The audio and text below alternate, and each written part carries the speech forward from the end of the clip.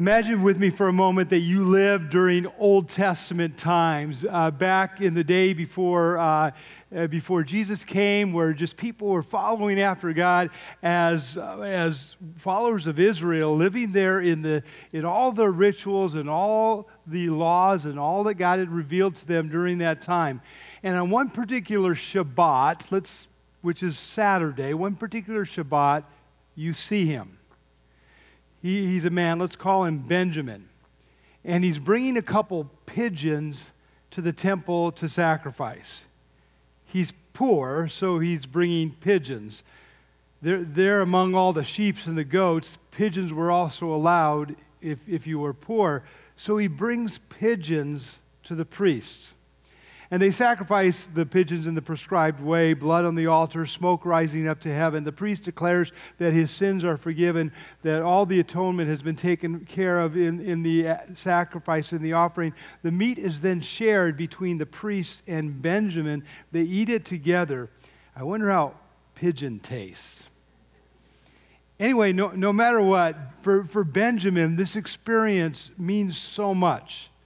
It represents to him his commitment to God, his duty to, to the God of Israel, his ancestors, and now to him and his family, his remorse over intentional sin as well as unintentional sin that, that he did, wasn't aware of, but that he knew he had offended his God, his longing to be close to God, his duty to the God of the Bible, to, to do what he has prescribed. It, it maybe takes an hour and he leaves feeling right with God, all good, at least for another week. One hour in a week. And then he will do it all over again 167 hours later. Today we begin a brand new series, 167. If you do the math, there are 168 hours in your week. If you spend, you know, somewhere around an hour each week in church, how are we supposed to look at the other 167? I mean, we come to church, we grab a seat, we grapple with the Bible, we sing to God, we lift our hands, we pray, and we turn our hearts to God for an hour. And in 60 some minutes, something important happens, something meaningful, something spiritual goes on in our lives and our hearts, something, something very profound. We interact with God, we align our lives, we remember what's important, we, we we focus on forever. And then we leave and we do it again 167 hours later. But here's what I've noticed so much of those 167 hours can extinguish that one hour at church. I mean, here's your week. I've, I've grafted it out for you. Each box represents an hour of your week. And then there's church right there. So here's what I'm wondering is there any way to bring any of that one hour of worship into the other 167? Not just one and done, but to treat that hour in church um, and the rest of the time, every other hour, the same way as worship as well. Is it possible to worship God every hour of the week? This past week, uh, I, I don't know, maybe I spent a little less than an hour driving to a taco shop, ordering a couple tacos, driving back to church, and eating them in front of my computer. Is anything about that worship? By the way, here's my receipt. Um, as I was waiting, as I was waiting for my tacos, I'm pondering this new series, kind of thinking about it, and then I noticed the, my order number was 168. And it struck me that hour grabbing and eating tacos was one of the 168 hours in my week. Could that also be worship? Have you ever watched a movie uh, and it was like a total waste, and you say, oh, I'll, I'll never get those two hours back? How much more tragic to feel like we waste 167 hours in a week. Is there a way to redeem those hours? Is there a way to redeem the time? Is there a way to make every hour of the week feel as meaningful as the one week, the one hour that we, we, we spend here together? These are the questions that we will be asking in this series, and we will be turning to a fantastic chapter in the Bible to do so. The, the, the chapter is Romans chapter 12. It's a, it's a beloved chapter of the Bible. So open with me there, Romans chapter 12. It's right in the middle of your New Testament uh, we will be in this, this, this chapter for the entire series. It is a great one for you to just really meditate on and kind of saturate yourself with over the next couple months or so. Romans 12:1 begins this way. Therefore, let's pause there. what after one word? Yeah, let's pause there because I was taught early on when I study the Bible, when I come across the word therefore, I should ask, what's it there for? In other words, what came right before it? What is it building on? So right, right away, I read the word therefore, and I want to say, what is it linked to? Well, in a way, Paul, who wrote this book of the Bible, is referring to everything that he has said in the first 11 chapters of Romans. Uh, this chapter in the book of Romans is a major turning point in the book, building on everything that Paul has already put forth. But for our purposes today, all we have to do is go back one verse. Turn with me to the last verse of chapter 11. And even by itself, just looking at that verse alone, it sets up our passage so much. Romans 11:36 says this, "For from him, God, and through him and for him are all things. To him be glory forever. Amen." In a way, it is one of the boldest verses in the entire Bible. Because in it we discover a radical way to view your week. I mean, consider what it's saying. At least three things. First of all, it's saying that all things come from God. See that? All things are from Him. Way more than just the one hour at church, way more than a few select hours during the week. Everything that fills your 167 is from Him. For example, the Bible says that family is a gift from God. The Bible says that, that your friends are a gift from God. Opportunities are a gift from God. The world around us, the nature of creation that He's given us, a gift from God. Work itself is a gift from God. Money, a gift from on high, according to the Bible. The Bible even says that sleep is a gift from God, which, you know, is about, well, about this many hours in your week is spent sleeping. So someone says, well, let's take those hours off the chart. You're not doing anything spiritual when you sleep. But the Bible says the Lord grants sleep to those he loves. Even sleep, then, we are supposed to see as a gift from God, something that He gives to us. In other words, everything that fills your 167 is from God. But this radical way to look at our week says, says much more than that. It also says all things are through him. That is, everything you do from Sunday morning to Sunday morning should be done through God. We kind of have this odd idea that, that we are, you know, only really engaged with God at church, really connected with Him, re- really serving Him, really really worshiping Him when we're together within these walls, and the rest of the week is sort of up to us. I mean, we would probably never say it that way out loud, but we act like it. Maybe we even pray and ask God to guide our week, but then the moment comes where we pull into work, we pull into the coffee shop, the grocery store, the gym, and we're like, I got this. I'm good. We shift into self drive, automatic pilot. Instead, this passage reminds us that all things, everything that fills that 167 should be done through God. And, and then it, it, it goes even deeper than that.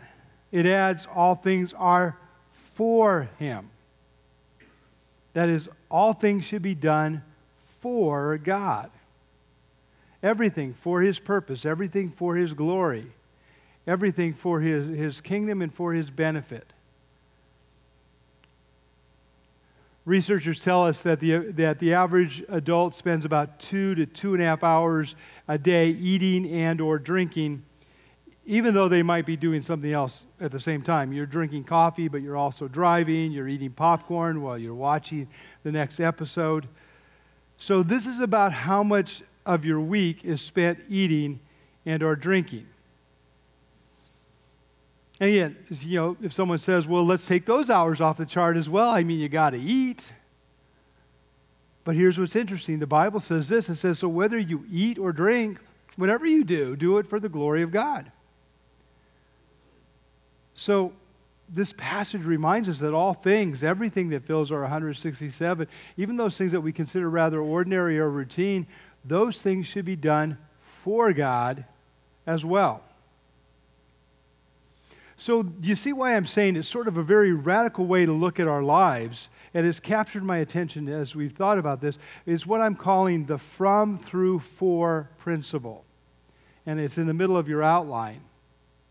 That a couple weeks to, to ruminate about this message, and I really think it could transform the way you think about every week of your life. The from, through, for principle. In fact, let's, let's make a chart with three parts of the principle, uh, this principle on the side. All things are from God, all things are through God, and all things are for God. And then let me kind of flesh this out with three different scenarios. And I want to think about each of these scenarios because I want us to really get the idea of what it would mean to apply this principle to our lives. First, let's consider how to apply this principle to the positives in your life. This by the way, is the easiest. With anything positive in life, since it is from God, well, we thank Him because He, he gave it to us. He gave it to you. He gave you your kids, your, your health, your opportunities. He gave you that sunset that you admire is a gift from Him. He gave the rain that we appreciate. The, your dog licking your hand when you get home. That's a gift from Him. Also, with, with positives in our life, since they are meant to be done through God, then it's not that we just appreciate them and thank God for them. We are meant to use them, those things, and appreciate those things wisely, asking God to help us use it in a way as He equips you. He equips you. He, he, he ask God to help you love your kids well. Ask God to help you assist you to do your job wisely this gift from Him to lead you in your financial decisions with the resources that He's entrusted. And then finally, with the positives in life, since they are meant to be done for God, aim for His glory because He has a purpose in it. Remember that, that God gave you those good gifts for a reason uh, to seek and honor Him and His goal in them uh, remember that God has, has a plan for the things that He entrusts you with. So don't just, just enjoy them, see them as these, this stewardship in your life, a responsibility that you've been given um, to utilize it for His purpose. Now, positives are probably the easiest way to apply the, the from, through, for principle, but also the easiest to overlook because we can just kind of take it for granted these positives around us. It gets a little trickier with challenges. How is the from, through, for principle applied to the challenges that we face? Well, with challenges in your life, we also learn to see them under this banner that all things are from God. So we trust Him because He uses it. When stress comes into our lives, He can use it to draw us closer. He can use sickness to build compassion. He can use criticism to build character. Every challenge that, that you face is filtered through the loving hands of God who, who will, is able to turn it and use it for His glory and for His purpose. With challenges, then, we, we see them as from God in the sense that He will use them also with challenges in your life because we believe that all things are meant to be approached through God, well, we look for God to strengthen us. Look for God to strengthen you, to give you what you need to approach that challenge. There, there's this, this sense that as believers, whatever we face, God is also giving us the resources to, to face it. And we have these challenges that come into our life, but He, he equips us along the way and strengthens us along the way uh, to approach it. Finally, with challenges in our life, because we believe that all things are meant to be done for God, aim for God to be glorified in that challenge, knowing that He will redeem it. He will redeem it. There's a great passage in uh, another place in the Bible, 2 Corinthians 4.15, 4.17 says this, For our light and momentary troubles are achieving for us an eternal glory that far outweighs them all. Now, you might, you might say this doesn't feel like a light and momentary trouble. It feels like a big challenge. But God says, in comparison to what He's doing, that is much heavier. The work that He's doing in your life, much more weighty, the way He's going to redeem it in us. So, so we lean into the fact that even in challenges, that God, it can be done for God because He is redeeming it. Turns out, challenges, God also wants us to apply this from, through, for principle. But probably the, the hardest to apply is tragedies. How are these from God? I mean, God is not the author of evil or confusion. He is not part of, of sin or divisiveness. With tragedies in your life, believers for centuries have understood them as from God in that he is sovereign over all things, and therefore he allows it. He allows it. It is not that God is cruel, God is good to the core. It is just that in his economy, he allows for human and global sin and suffering as a part of our freedom. He allows it. Which maybe sounds harsh, but you know, sometimes for me, it has been this very truth that has gotten me through. I remind myself this is not just the sinfulness of another person, though that may be part of it. This is not just the brokenness of living in a falling, fallen world, though that may be true. God allows these kinds of things in our broken world, and He is able to bring good even through them. If the worst tragedy that this world has ever seen, the crucifixion of God's perfect, holy Son, became the greatest blessing in our lives, our salvation, then God can work in our tragedies as well.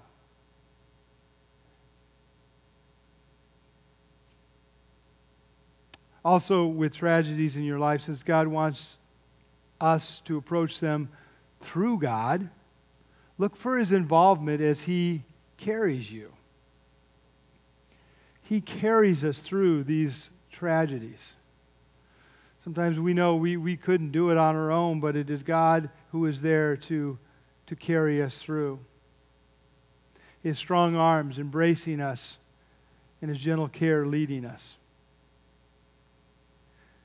Finally, with tragedies in your life, since all things were meant to be done for God, remember that He will restore it.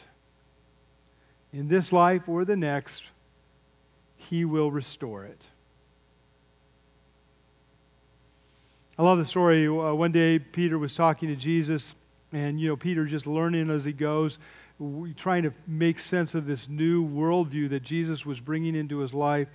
One day, Peter was struggling with, with how to understand why it was so hard from his perspective to follow Jesus. And Jesus told him this Jesus said this at the renewal of all things, when the Son of Man, talking about himself, when the Son of Man sits on his glorious throne, everyone who has, you know, in a long way basically left or lost family members, property, etc., for my sake will receive a hundred times as much and will, in, will inherit eternal life. In other words, in the future, whether this life or the next, Jesus will restore it when we put it in the category of for his sake. So there we have, you know, three di- very different scenarios of how we can apply the from, through, for principle.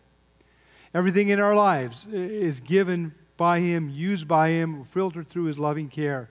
Everything we face, God is ready to equip us, strengthen us, and carry us through. And every hour of our week is meant to be used for His purpose. Even the negatives, He's at work to redeem and restore them. Positives, challenges, even tragedies. And so you, you see what I'm saying? It is really like a revolutionary way to look at our lives when you, when you realize that all things can be put in this category. And all of that is behind the very first word of Romans 12 1, the word therefore. If this is true, therefore, and now we're ready for the rest of the verse. Romans 12 1. Therefore, I urge you, brothers and sisters, in view of God's mercy, we're about to get our response to this view of life, our response to the, the from, through, for principle, our response to this radical view of our week. Therefore, I urge you, brothers and sisters, in view of God's mercy, to offer your bodies as living sacrifices, holy and pleasing to God. This is your true and your proper worship. What is our response to this incredible mercy of God? His, his involvement in every hour of our lives, His ability to redeem all that we do, all that we face, to, to transform it and to see it as from Him, through Him, and for Him? Be living sacrifices. To offer our bodies as living sacrifices. Now, a lot of times when I hear sermons on this, uh, there's a lot of emphasis put on the, the term living, the living part of living sacrifices. I mean, it is, to be fair, a striking way to put it. Living sacrifices, holy and pleasing to God. I mean, sacrifices back then in the temple were by definition holy and pleasing. That much is sure. But they don't, they don't make it into the temple unless they're a perfect specimen, unblemished, therefore pleasing to God, holy to Him. But living, they were slain in the process. They came to the temple, and that was it. One hour, nothing further. But God is calling us, you and me, to something way more radical. We come to Him as sacrifices, that is, in a way that is holy and pleasing, but fully alive. And we come for, for one hour a week, and then we keep doing it for 167 more. In fact, here's what's amazing and often overlooked the word living has, has several nuances to it. First of all, it implies living in that when we talk about like our way of living our way of life. Living could mean our way of life. That's why one translation of the Bible message translates it this way. Uh, this is a great translation. It says, So here's what I want you to do God helping you. Take your everyday, ordinary life, your sleeping, eating, going to work, and walking around life, and place it before God as an offering to be a living sacrifice then implies to be a sacrifice in every part of our life. In other words, God wants all of this as an offering. God wants all of this to be a from, through, for Him experience. As we are living sacrifices all through the week. And it's even better than that. The word living here, often in the New Testament, is the very word that is used for the idea of resurrection life. Resurrection life. In other words, all week long, we're meant to experience the risen life of Jesus permeating through us that he, that he is there to guide us, to empower us, to strengthen us, to, to infuse us with, with His ability to direct us and to redirect us, to energize us. We, we face things and goes, I'm not sure how I'm going to do this. And He says, You'll do it in my strength because I'm there to do it through you. Resurrection life, then, is a living sacrifice, is, is, is a sacrifice that is living now um, in light of the death and resurrection of Jesus. As we've died to our, our old behaviors and we are alive to what He wants us to do and, and how He wants us to live as He lives through us. But the word sacrifice is also quite expressive. Look again at the middle of, of this verse. Offer your bodies as living as a living sacrifice, holy and pleasing to God. So according to this passage, to be a sacrifice means first of all to be holy, which basically means to be set apart for God. Holy is set apart for a, for a purpose. Back then, sheep were raised to be sacrificed at the temple and they were set apart specifically for that end. Uh, in, inspected and ensured to be pure and unblemished and, and, always raised for this very purpose. So, too, our lives have been set apart for God. When we have trusted Jesus as our Savior, we become set apart for His purpose, and we're meant to be an offering all our lives living for that purpose. Not just once, but ongoing sacrifice. And then these sacrifices are described as pleasing. According to the Bible, we, we please the Lord primarily one way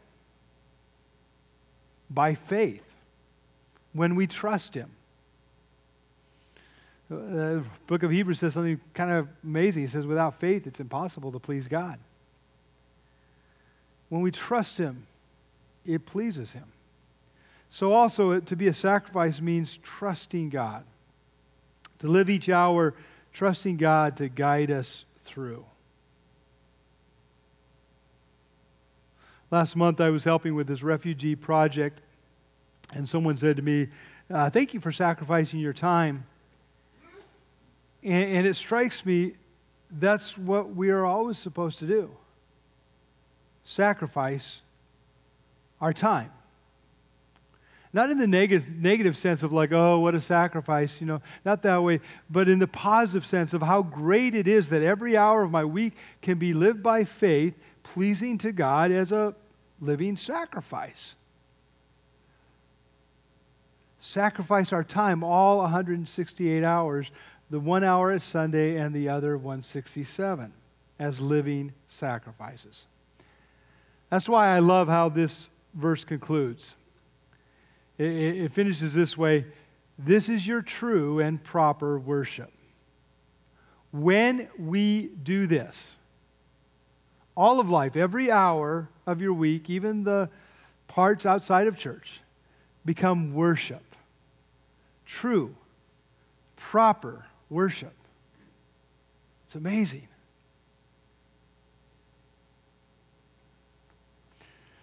Back in the Old Testament days, offerings were limited to the temple. One quick hour, it was over. With the coming of Jesus, there was this radical shift. We become the sacrifices. We are those who are called to be living sacrifices, living for Him every hour of the week. All things from Him, all things through Him, and all things for Him. And for me, that's quite revolutionary it means that, that all of life becomes sacramental. All of life becomes spiritual. Everything we do, even the ordinary things, become meaningful and meaning filled. Because every hour can be an offering to God.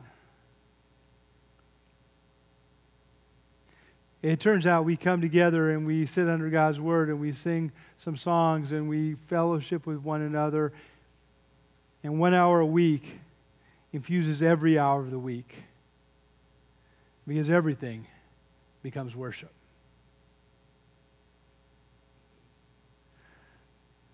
Father God, it, is quite radical when we think about it, what you've called us to, and how, how things change so dramatically with the coming of your Son. And I pray that we would uh, really uh, learn more and more what it means to be your living sacrifices, to live for you in a way that all life, even the ordinary parts, become sacramental and spiritual for you. Every hour can, we can live as an offering to you. Thank you that we have, we have this time together. We don't, um, uh, we don't take for granted this hour. And we pray, Lord, that you would take this time that we've had and continue to have and help, help it to pour into every part of our week ahead. We trust you for that. We also thank you for the good gifts that you have blessed us with, the resources that we have. And as we share those for the work of your ministry here, I pray your blessing on the gifts and the givers. May we know um, the transformation that comes in us and around us as we participate in, uh, in giving towards your kingdom. In Christ's name we pray.